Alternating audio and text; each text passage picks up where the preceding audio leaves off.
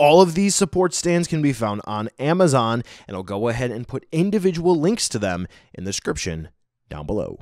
Whether it's fixing your figures or talking about effect parts, it's all about quality of life with Steven's Toy Tips.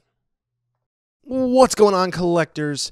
It's Steven here, and I hope you're doing well. Today we have another Toy Tips video for you, and if you are a patron over my Patreon, you actually got this one a day early.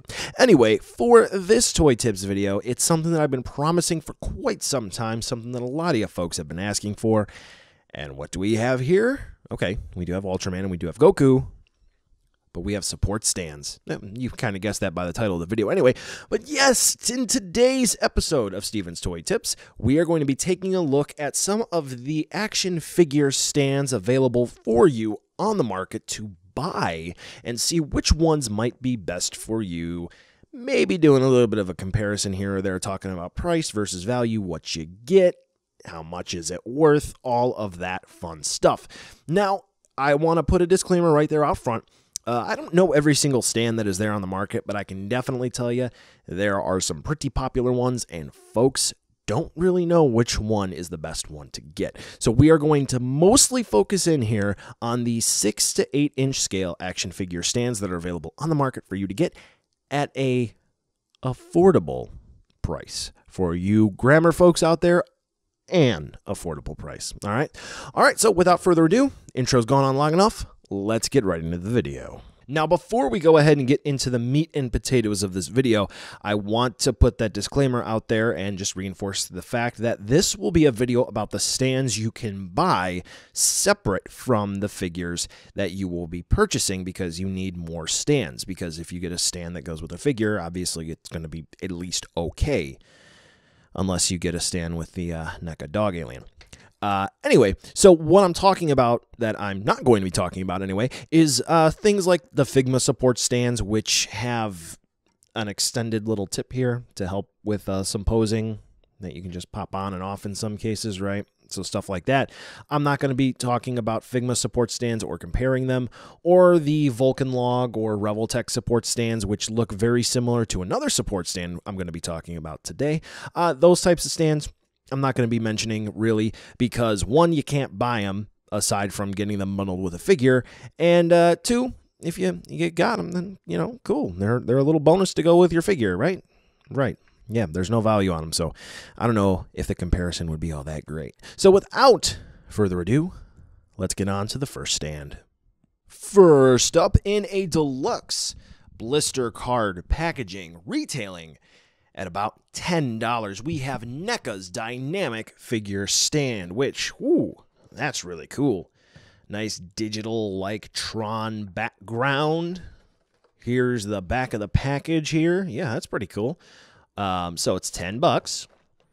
We get ultimately one stand claw, a couple of different bases.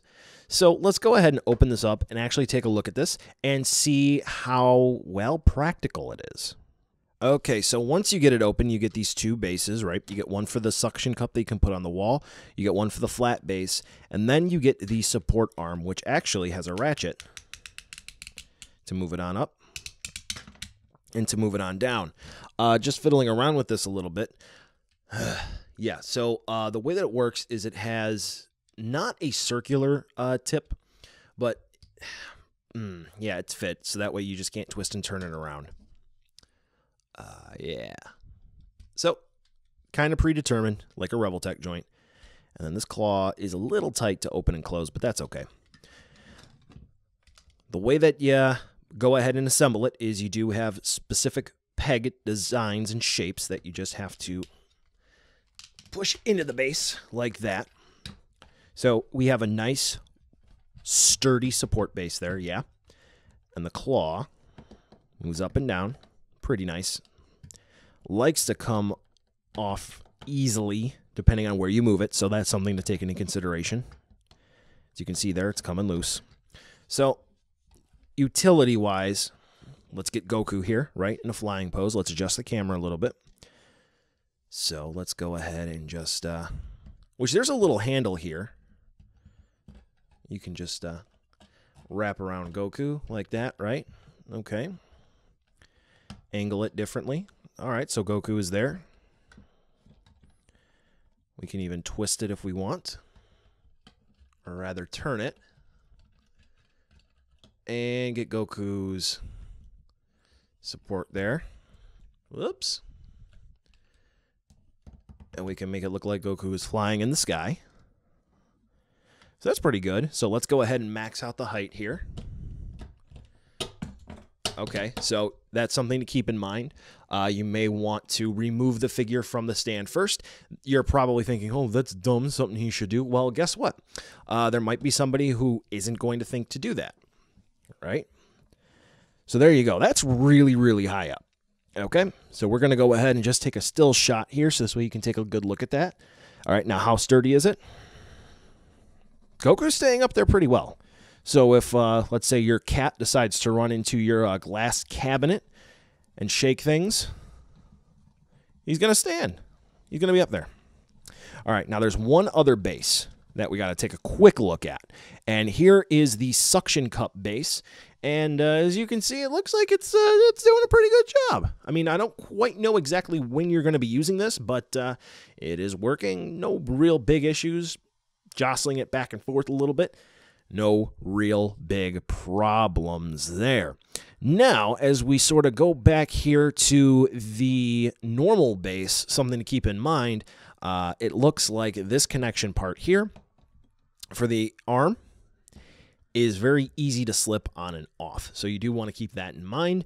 But one customizable feature is doing that. So you do lose a little bit of height, but that's okay. Sliding it up and down. Got to put a little bit of effort into it. Now, the only thing that I don't really, really like about NECA's uh, support stand here, some may call it nitpicking, but this is just simply from experience. And this is something you're going to see is uh, is a common trend, and I'm going to make my case with this near the end. Uh, it's all clear plastic, and it's a really tight fit. So I would imagine over time, swapping parts, doing this, that, and the other, especially with a tight fit here in the base, you will get cracking, which will not be good. Again, sit tight. I'll show you that in a second. So overall, NECA's support stand, it's a little pricey, but I gotta say, it is pretty solid overall, I think if you get a couple of these, you're gonna be uh, you're gonna be doing pretty well for yourself. And I would imagine that these can definitely hold some very very bulky figures. So if you got some die-cast super robots, these will be great for you. Next up in our quest to find a good figure stand for you would be the Obitsu stand. So, plenty of you know about Obitsu effect parts. They've done the Kamehameha looking ones, they've done explosions, they've done rocks like these glacier ones over here.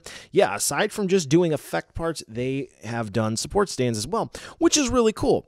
Uh, price wise, what are we looking at here? Well, they can be about seven to eight bucks for just one of these stands, or you can get a bulk pack of five of them uh, up on Amazon for 30 bucks. It breaks it down to uh, what is that? Uh, six bucks a piece, right? Right. So that's not too shabby. Um, or is it? So, uh, one of the things about Obitsu stuff is it can be like a model kit. And as you can sort of see everything here, that's pretty much what this stand is. Um, so, you have all of the different supplies in here that you're going to need. The runners, it recommends using clippers and a screwdriver. You will need the screwdriver. You're not going to be able to get away with a knife um, like some folks do. I mean, utility, like, you know, you're a scout or something, you know what to do. You're going to also need something with a very, very small head to it. So I know I've got flat head here, but I've got a screwdriver here that I use for my guitar stuff that I flip around and I use all the time that is still even too big for it. So you're going to need a really small uh, Phillips head screwdriver to get your uh, support stand built. Something else that I will say, it, it can really be a pain to tighten up your support stand uh, to the way that it would need to be to support some of your heavier figures. Um, it took me quite a few turns and a little bit of frustration uh, before I was able to get this to work. Something else, it's kind of subjective. You can sort of see the air bubbles in the arms, eh. Also, really, really flimsy. Or they feel that way. Oh. oh, maybe they're not. Anyway, yeah. So that's just kind of on the subjective side. I had a couple of issues, tediousness in building this. I think material's a little weak, but what's really cool about this is you get a whole bunch of different parts. So this way you can extend it and make it super long. Um, you get other different clamps on there. Where is everything at? Um, as you can see here, you get different sized claws. Also, if you don't want something that has an articulated arm to it, what you can pretty much just do is you can pop that off if you want. You can put this little peg on there, right? It snaps in just fine. Take the claw off and pop it in like that. So this way you can have your action figure or your Obitsu doll or whatever just kind of stand there. So that's not perfect um, for a quick rushed display, uh, but you, you kind of get the idea that I'm going for there, right? Right. So you can do that. That's pretty cool. Uh, so with that in mind, you know, seven bucks for one of them on their own. Let's just assume you're going to go for that. Is it worth it? You get a whole bunch of different customizable options with this. You get a nice base. Well, how does it how does it work? Well, I tightened the screws down as best as I could to help support the weight of a uh, decent sized figure. So we're just going to go ahead and we're going to use our buddy Goku again. Hi, buddy. So Claw just wraps around his waist there. Okay. We're going nice and easy. Alan's moving back a little bit. All right, so you can see he's he's taking flight, right? That's pretty good. He got some pretty good height. Rocking him back and forth. So he bobbles a little bit, which is actually kind of surprising that uh, the stand doesn't tip over because of the small base, but uh, he's good. Starts to droop a little bit. You can probably tighten the screws to make it not as much, but uh, yep, there you go. Okay, so it finally dropped over and Goku fell. So yeah, I mean, it took a little bit of effort there. I was intentionally trying to see uh, how much it would take before Goku would drop. But yeah, to be honest with you, this is really cool. Uh, something that I didn't quite go over on this one yet is the range. So just look at that. This has plenty of range if you're looking to get it into a specific uh, degree for support. So if you're looking for something that's going to have a lot of utility, that's going to have a lot of length to it, I mean this is this is pretty uh, pretty long, pretty tall. So length's about six inches, five and a half. Yeah, that's pretty good. But the one thing I would really, really have to hold against these stands would be longevity. And uh, with the next stands, I think you might actually see why. Okie dokie, it's time for the one that pretty much everyone has been waiting for. They knew that I would get to Tamashii Nations, Tamashii Stage, Act 4 stands. Yep, here's the box. Chances are, if you have purchased a Tamashii Nations figure, Bandai Spirits figure that uh, has an effect part, you have gotten the base and support arms. If you have gotten a figure with a support stand, D- does that look familiar? Yeah, because that is exactly what's going on here. Now, they do a great job of breaking everything down for what you get in the box right here.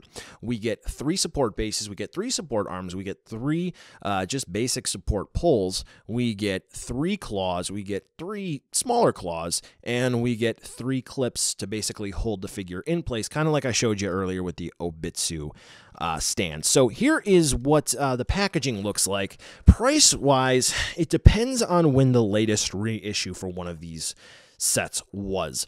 Uh, MSRP is about 15 bucks. We get three stands, so that's five bucks a piece. That does beat out the Obitsu stands if you're going to buy them in bulk. Not by much, though. Uh, and they are uh, indeed supplied by Bluefin, so that's even better. They're available domestic in the US, and they're a really small box. So if you're looking to import them, you can easily throw these at about a thousand yen into your monthly order. No problem. Something else is they're older now. I don't remember the last time they reissued them, but they did make them with the support bases in a whole bunch of different colors. I know they did blue and green. I'm pretty sure on that. I'm not sure what else they did. I think they did yellow and red. I might be wrong on that, but yeah, there are color options available for these as well. Gonna cost you a bit more though, but you know, That's just uh, aesthetics. So let's go ahead and uh, crack this open real quick. Take a look. They give you instructions in case you don't know what you're doing. And here is how the tray is all laid out. So let's go ahead and look at everything sort of individually. All right, and now that we're here, you can see how everything is set up for the stage act for from Tamashii Nations. So like I was saying, we get the smaller claw here, right? This one just kind of clamps together. Again, it is small. You can use this to hold things like maybe certain beam effects, right? Which is pretty cool. And then we get the large traditional claw. Okay, so this will be able to hold your figures. It just pops in, easy to build, pretty self-explanatory. You get the claws on a runner, and you just pop them into one of these parts here. You're good to go. Now we also do get a pole right? And then we get a little clip that goes onto the pole. You just take some of these uh, claw parts and you put them in, and uh, they'll support your figure when you go to uh, have it stand there. Right? And uh, like you notice with the Obitsu ones, it was pretty difficult to have it slide up and down, but here, just at the, uh, the blink of an eye, I can adjust the height which may not be good for some folks. They may think that it's real easy to move, which it, it kind of can be, and uh, maybe a little bit loose, but you know what? That's okay. Now, one of the cool things about this for the Tamashii Stage Act 4 stuff is uh, you'll notice that I'm using the hole in the back here. Well, what's cool is you just pop these little doodads out, throw them to the side because literally nobody needs them, and you make more holes in the support base. And then you just go ahead and you you mess it up a little bit. But then you just take more of the support arms that you get. And now look at that.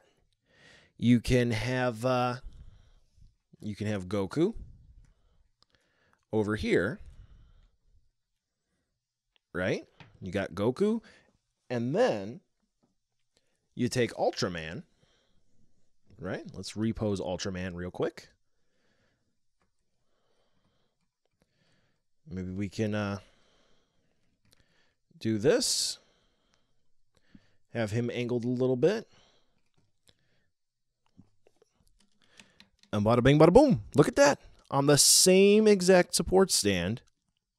Move that out of the way. You got uh, Goku fighting Ultraman. How cool is that? Right?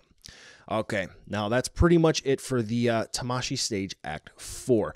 Real, real easy at about 15 bucks for a set of three. You get plenty of display options. Really, really cool. Now, word of advice how to make these a bit better. You'll notice they have the same overall construction as the Obitsu stands. There appears to be a Phillips head screw you notice that it's a little loose. Sometimes, right out of the box, these can be loose. And uh, just as a point of reference, let's just take uh, Raphael here. Yeah, the actual support arms themselves, they're about five inches tall. Um, you can actually tighten these up first and foremost. Second, you can customize them and you can just make them as long as you would like. Oh, yeah, I got a lot of these. With that being said, having a lot of these, there's a reason why I have a lot of them. Let's, uh, where is it? Oh, yeah, let's zoom in here real, real quick. Let's see. Right there where my thumbnail is at. It's cracked. Yeah, that is a common theme with uh, Tamashii Stage Act 4 support arms. The claws, specifically, there's an issue with the arms too. Uh, yeah, they just like to crack. And then once they do crack, here's a comparison for you. The left one is cracked, the right one is not. Right one, it has friction. It's going to be able to hold. Left one, not really. So do keep that in mind. Also, keep in mind that if you're tightening things down as you move them, you want to make sure you're isolating it and you're taking any of the parts off that you have attached here and slowly moving them. Because if you just have this on here and you've tightened down the top part and that's where you're moving it, then you're going to apply pressure here. You're going to crack the claw and then that's just going to spin like a pinwheel. So, yeah. But even over time, just from use, I've had that happen to a lot of Tamashii Stage Act 4 support arms and claws, and uh, haven't had it happen to any Obitsu stuff yet. And uh, that was the only NECA support stand I've had, so um, yeah. Guess we're done with Bandai. Oh, wait, we're not. Okay, so Link's pose is bad whatever that's not the point the point is is that the stage act 4 tamashii stage act 4 support arm is kind of a universal support arm which a lot of the other support arms and even the bases are based off of uh, i'm using all tamashii nation stuff here this is the Figma Dark Magician Girls effect part. That was a Good Smile online exclusive. And this is the Figma Link. And as you can see, those holes in their backs, yeah, those are meant for Figma support stands. I am using a Act 4 support arm for that. For my Vulcanlog Blue Eyes alternatives, I actually sometimes have to use these if, um, you know, maybe one of their stands broke or I misplaced it. Yeah. So, generally speaking, if you really need support stands and you are uh, kind of in a tough spot, don't be afraid to use Tamashii Stage Act 4s. They're really good. Oh, and uh, one other thing they can actually be linked together if you get the proper packaged Tamashii Stage Act 4 support bases. They come with little links. All right, that, that that's it for the for the fours. Because now we're going to go ahead and talk about the fives. That's right. Bandai's got plenty of Tamashii uh, stage stuff. They've got Act 3s that um, were packaged on their own. I believe they're also with the Sailor Moon figure arts, with uh, some of the Saint Seiya stuff. They have a whole effect set that comes with claws as well. Those are really good, except for all of mine broke. They were just not that great.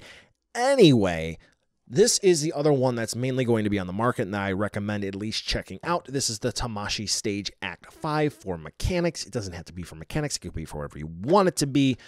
Whew, as you can see, there are some differences between the 4 and the 5, but uh, we're going to take a closer look at this.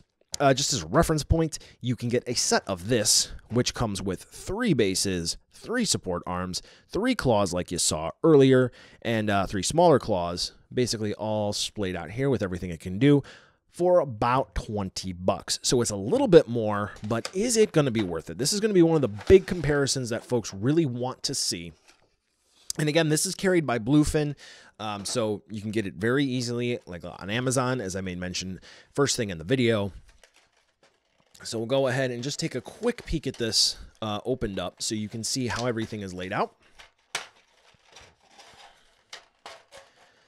and then I'll go ahead and assemble everything and uh, we'll take a, a quick look to see how it stacks up for you folks. So here is how it is all set up. So here's what they would look like fully assembled um, if you were going to use them out of the box. There's a hole in the back where you plug the support stand into. The main arm here is on a ratchet. So that's about the degree of movement that the ratchet has. Here's the degree of movement that the first point of articulation on the stand has. So here's the smaller claw real quick. As you can see there, that's nice. And then uh, the way that it works is there's an extension pull to that as well. So it's still going to have the same degree of movement. If you go too far, though, um, as you saw there, that uh, arm, that pull will just pop off. So just just do be careful with that. You don't want to uh, have a very expensive, let's say, robot spirits there, and then uh, have it fall off. We do also get the support claw, which uh, is included with the Tamashii Stage Act 4. They do come in the 5 as well. And uh, there's another joint that's added in there. Okay, so real quick, the way that it's built, um, so for this intricate assembly, you just take the pole here the extender pole, and that plugs in. And then you get this little joint here, okay? And then that just plugs in to this end, and then you plug the claw in. Okay, easy peasy. Now, what's really cool is that these two are interchangeable. So if you just want this bigger claw here on this arm, the ratcheting one, you can do that. And if you want to put that there, you can as well. Now, with the ratchet here, that is designed to provide a little bit more support for heavier figures. Okay, so instead of using Goku or uh, or the like, let's go ahead. There we go. See, that will be one of the issues. Um, and use a figure with some die cast parts to it. So let's just take good old Raphael here and see how this might work out. Okay, well, all right, so we're already seeing how this is going to go. Unfortunately, with that extended claw, yeah, it's not working out too well. How about with just this? Could this potentially work out? All right, so the small clip is not working too well. Yeah, so it's kind of falling apart here. This is one of the issues with the Stage Act 5s.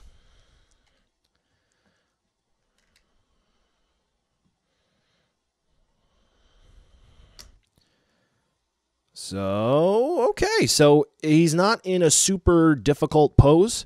He's in a pretty much just a T pose there. But uh, as you can see, that ratchet does provide a little bit of extra support and it can hold heavier figures. So if you're looking for something that's going to do a little bit of a a little bit more heavy lifting. Let's say you need to hold up a Monster Arts Kiryu or you need to hold up, let's say, a Super Robot, then uh, a Tamashii Stage Act 5 may be the way to go. So just as a point of reference, let's get, uh, you know, keep Raphael here. Again, he's somewhere around the, uh, the five and a half inch mark and that is about uh, how high uh, the two support arms can go. You saw the range of movement. What's also really cool, just like the uh, Tamashii Stage Act 4, we also have these little holes here. Once you pop out these protector, plug them up thingamajigs, which an easy way to get those out is to just do that. And then you also have connection points. So if you wanted to hook a couple of these up together and form a nice big display, you can do that. Again, these are going to run about 20 bucks for a set of 3 of them, so your mileage may vary if this is something you are looking for. Personally, I would say get these, ditch uh, that part. Um, get these if you're looking to support some very, very heavy figures.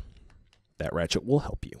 Now, all of that being said, here is a quick look again at all the four figure stand types we took a look at in this video. We have the Obitsu figure stand, we have the NECA display stand, we have the Tamashii Stage Act 4, and the Act 5. And I really, really do hope this video was helpful for you because to be honest, you're going to need the right support stand for what you are going to be doing. Do you need something that's going to be a total tank and stand up to everything that you're probably going to do? Chances are the NECA stand is going to be for you. Do you need something that's going to be quick and easy and get the job done? Act 4 might be the best for you. Do you need something that's going to have a little bit of customizability, lots of range of movement, and uh, some length? Chances are it's going to be the Obitsu stand. Or maybe you just need a solid stand so this way you have some ratchet movement to take care of your super robots. Act 5 might do it for you. Each stand has its own pros and cons. NECA is really expensive and kind of bulky, expensive at cost per unit. The Act 4s are a little fragile. Act 5s, they can be flimsy, and as I move my arms around here, you can see Goku sort of dangling and bobbing there, so you get the idea of what might go wrong with the Obitsu stands. Something else I really want to stress here, and I mostly mentioned it during the Act 4 section, make sure you're taking care of your stands and you're moving them appropriately with care. You're not just moving the claw whenever you are adjusting the support arm, you are actually taking the claw off and maybe moving the peg. And make sure that you're not over tightening anything that can be tightened on the Obitsu or the Tamashii stuff. So just be careful and uh, treat them correctly. But at the end of the day, I think all of them are worth picking up depending on what you have in your collection. So again, to sort of break it down, 20 bucks for a set of 3, 15 bucks for a set of 3, 10 bucks for one, 7 bucks for one or in bulk, you can get 5 of them for 30. All right, well, that about wraps up this video. I hope you all enjoyed. And again, remember, these are not all of the stands that are available for purchase on their own. There are things like doll stands, even from Obitsu. There are stands with that have the circular bases that have the peg to them that fit into the feet of NECA figures and Marvel Legends. That's not needed to be covered in this video. these are a different sort of stands. But uh, anyway, I hope you found it helpful. And if you did like the video, please give it a thumbs up and subscribe so this way you know when the next Toy Tips video is coming and you catch a few of my reviews. Thank you again so, so much for watching, and I'll catch you in the next video.